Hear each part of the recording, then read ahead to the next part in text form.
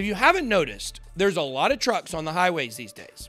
That's because during 2020, everyone was buying everything online. It's put a lot of stress on the logistics systems to make sure your 12 piece knitting set shows up in time for your quilting circle party. So fun. In this video, we're going to explore two of the most promising blockchain solutions for the modern supply chain dilemma. Look at how they aim to fix those problems, and I'm going to explain why there will be plenty of room in the market for both projects and your quilts. Put on your trucker hat. Ship is about to get real. Let's get it. Welcome to BitBoy Crypto, the largest crypto channel in all the interwebs. My name is Ben. Every day on this channel, I show you how to make money in crypto. If you like money and crypto, then make sure to hit that subscribe button. In this video, we're looking at logistics blockchain projects and how they're going to revolutionize on demand shipping.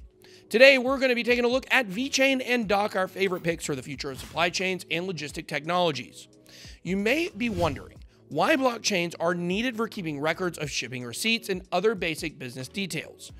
But when you actually take a look at how the world works, our global, national, and local supply chains are a total mess. This might not be obvious because everything seems to be running fine and packages tend to show up on time, unless they're nabbed by porch pirates.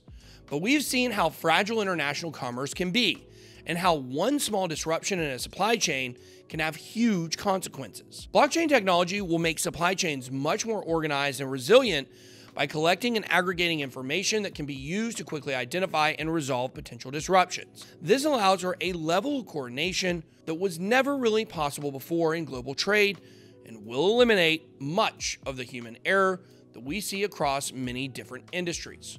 Detailed and immutable records of what takes place on a supply chain can also drastically reduce the number of lost, stolen, and damaged goods, potentially saving businesses and their customers billions of dollars. The leader in this space is without a doubt a project called VeChain, which we've of course discussed on this show many times. VeChain is a Chinese project that was founded in 2015 and has been steadily building its ecosystem and growing its partners through multiple bull and bear cycles. It has a strong team with an impressive background, including its founder and CEO, Sunny Lu, the former CIO of Louis Vuitton China.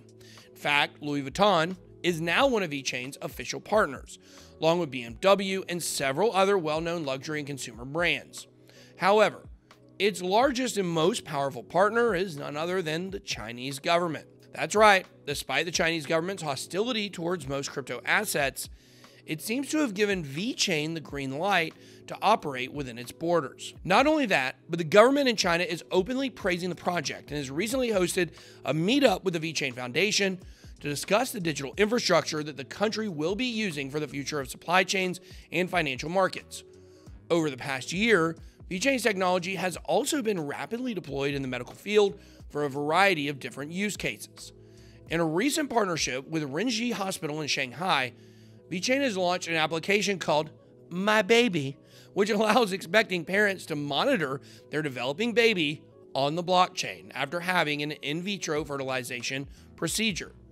VeChain has delivered a wide range of different initiatives in the Renji Hospital, and it wasn't just my baby.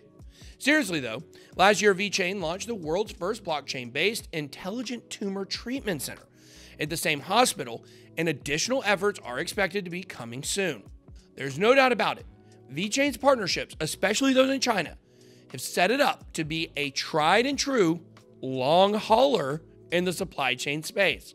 But as we've seen in every crypto asset class, there's room for a variety of different projects that serve different niches and communities. This is also an example of decentralization, one of the core values in crypto culture. If you have one project or asset that maintains a monopoly in a particular market, that sounds an awful lot like centralization, a simple fact that maxis love to ignore. Let's be real there's more than one smart contract play, there's more than one NFT play, more than one DeFi play, and yes, there is more than one supply chain play too. Which brings us to a shiny new 18 wheeler, Dock. Dock launched in 2017, so it has not been around as long as VeChain. This is still a seasoned project that has lived through the crypto winter and made significant progress on its ambitious roadmap. Dock has a strong team as well, with veterans from both the supply chain and crypto industries on board. We're so on board with Dock that we've hitched our trailer to their rig and we partnered with them recently. fact that Dock is a bit earlier in its development is actually a good thing for investors who are looking to get in on the ground floor of this exciting technology.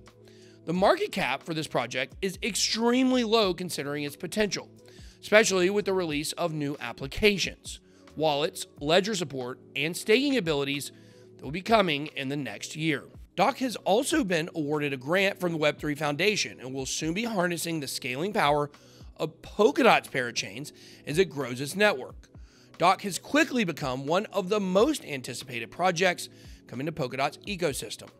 One of the most exciting things about Dock is the fact that governance of this platform will be decentralized, taking the middlemen out of supply chain infrastructure once and for all.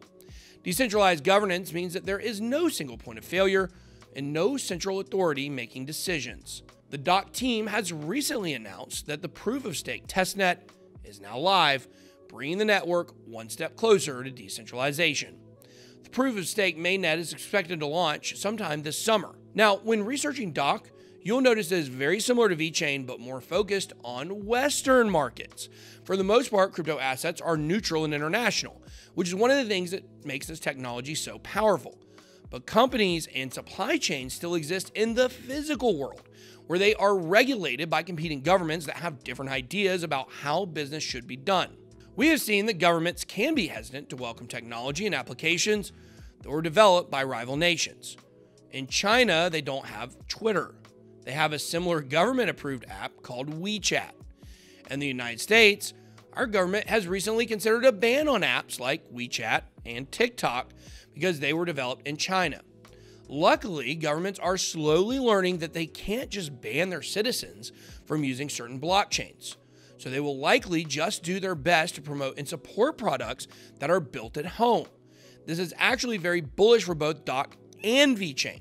We've seen a similar scenario play out with Alibaba and Amazon, two of the most successful companies in the world that provide essentially the same service but serve different markets. Would it have been better to invest in Alibaba or Amazon 20 years ago? Or would it have been better to invest in both? Now, I'm not a financial advisor, remember? You guys know that. One thing's for sure though this technology can solve many of the existing problems with our broken supply chains, and these two projects are expected to be leading the pack. Let me know what you think of VeChain and Dock in the comments below. And if you haven't already, smash the like and subscribe buttons. It really helps us out. That's all I got. Be blessed. Good boy out.